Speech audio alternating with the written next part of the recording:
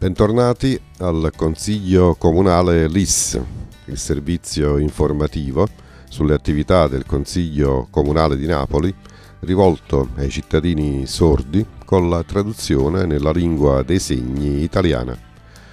Questa puntata è dedicata al 3 dicembre, la giornata internazionale delle persone con disabilità proclamata dalle Nazioni Unite per garantire alle persone disabili maggiore partecipazione alla vita sociale, politica e istituzionale. I servizi informativi aprono la finestra sulle attività del Consiglio Comunale, come ci dice il suo presidente Alessandro Fucito. Il Consiglio Comunale di Napoli partecipa alla giornata internazionale della disabilità presentando un nuovo servizio.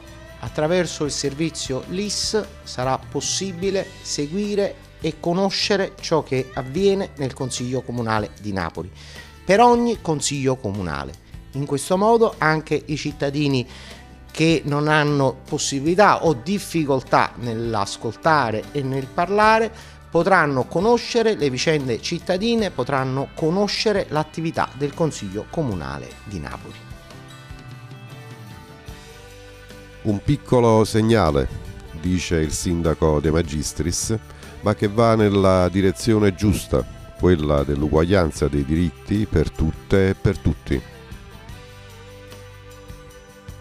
Da Napoli, dalla città di Napoli, aderiamo alla giornata internazionale a favore delle persone con disabilità, affinché possa crescere la sensibilità di tutti per delle comunità accessibili a tutte e a tutti. Ancora troppe barriere architettoniche, ancora troppe inciviltà. Ognuno deve fare di più. Da ultimo, come Comune di Napoli, abbiamo fortemente voluto che i lavori del Consiglio Comunale siano tradotti attraverso la lingua dei segni. Un piccolo segnale ma un segnale che va nella direzione dell'uguaglianza nei confronti di tutte e tutti. Dal Consiglio Comunale LIS è tutto, arrivederci al prossimo appuntamento.